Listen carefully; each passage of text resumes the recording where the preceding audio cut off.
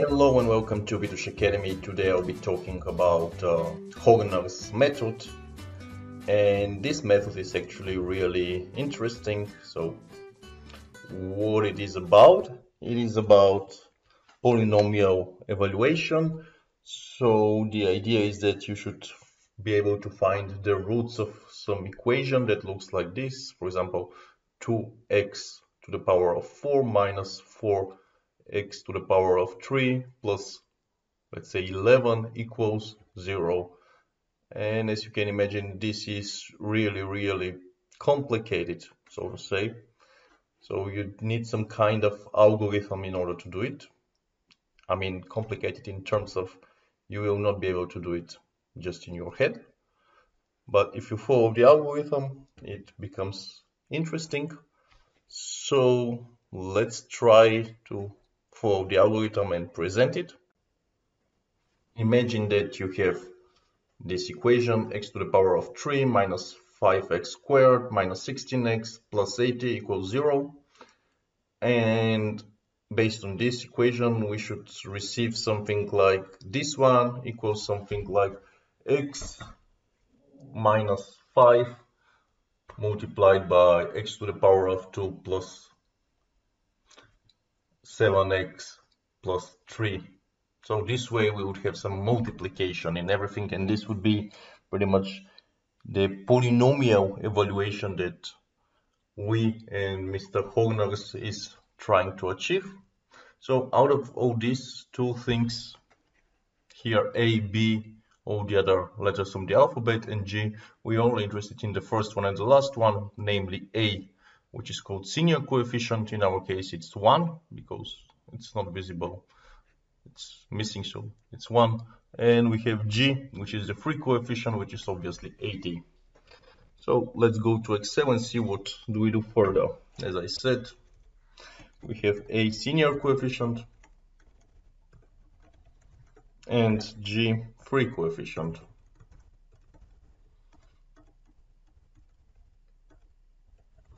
So now we should list all the divisors of G and all the divisors of A.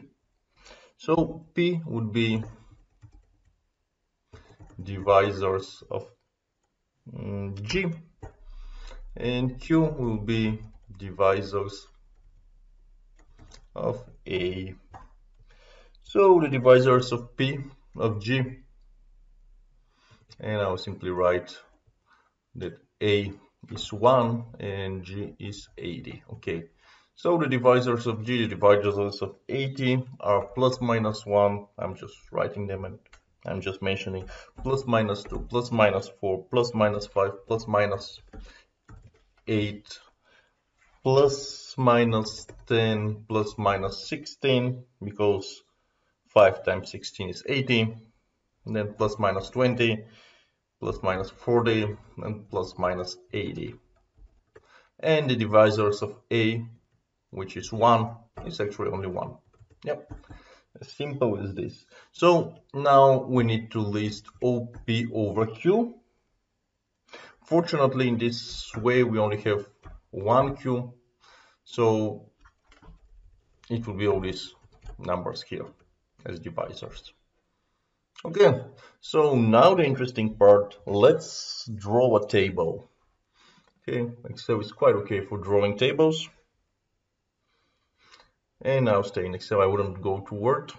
So in this one, we, we write all the coefficients. So first we write 1 for x to the power of 3. Then we write 5 for 5x to the squared. Then we have uh, minus 16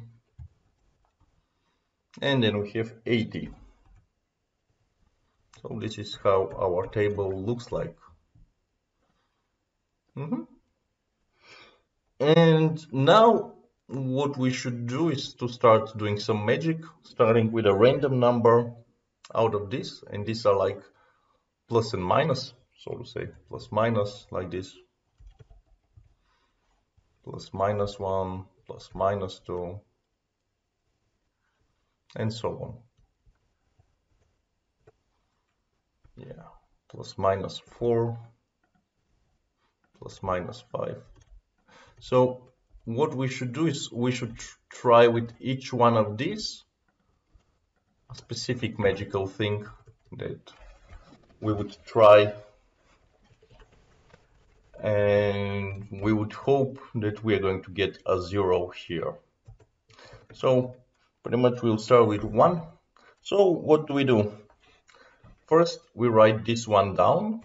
That's how the whole coefficient works. And then we start 1 times 1. This 2 is 1 times 5. It's actually 6, but in our case it's not times 5, it's minus 5 because of the minus here in the formula. So is minus 5. So 1 times 1 is 1, minus 5 is minus 4. And we continue. 1, uh, 1 times minus 4, I can even write it here as a formula in Excel. 1 times minus 4 is minus 4 plus uh, this one it's minus 20 great so we do the same 1 times minus 20 is minus 20 and minus 20 plus this one above is actually 60 so we simply say no.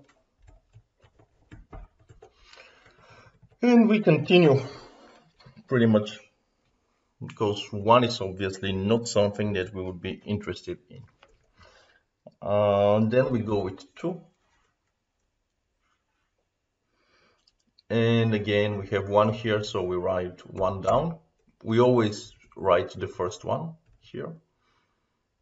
And this is how we start. So we say again 2 times 1 plus the upper one. We can even come up with a formula easily. I'm just curious whether it would work. So it's minus 3 for the next one, it should be minus 22. And for the next one, does it work? It's actually 36. This is what we did. Does it work? Yep, it works. Uh, 36 is different than 0, so the answer here is no again. And now we'll start, we don't have 3, we'll start with 4, this one. So writing 4, uh, repeating the one here, writing it down, and here it would be 4 times 1 plus minus 5, minus 1, great. We scroll down a bit. And it is 4 times minus 1 plus minus 16 equaling minus 20. Scream down a bit. And this is where our party can start because we found one coefficient. It is 20, minus 20 times 4, pretty much, plus 80. And it's obviously a 0, so our answer is yes.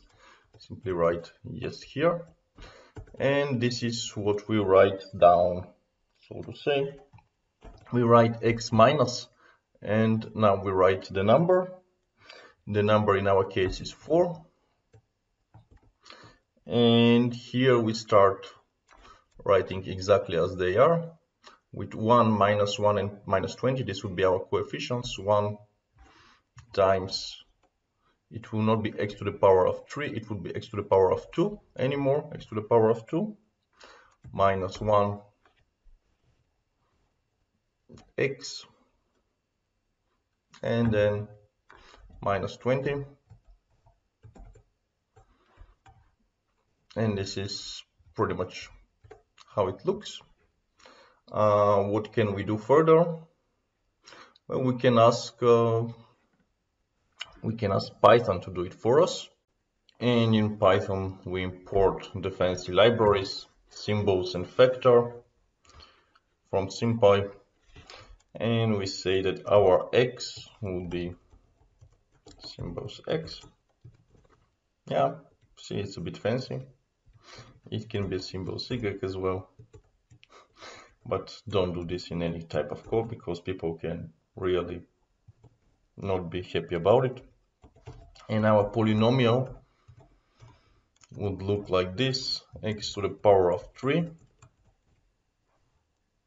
minus 5x to the power of 2 minus 16 x power of 1 I'm just writing the powers so it's easier both for me and for Python. Most for me. Plus 80 I mean this way I'm seeing that I'm having all the powers. So if I write a polynomial let's see what I'm going? Yep this beauty so factored polynomial equals uh, factor polynomial. And now I'm just curious whether I can do this and I can do symbols and Mm. most probably this wouldn't be allowed. Yeah obviously. Factor polynomial I'm simply writing this. It's obvious what has happened. We have x minus 5 times x minus 4 times x plus 4 and in our case this thing here can be further split it into x minus 4 times. Yeah this is obviously x plus 4 times x minus 5 and so to say so far so good.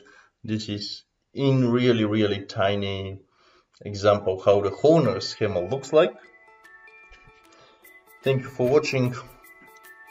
Enjoy the rest of your day or night and let me know if you need more examples of the Horner schema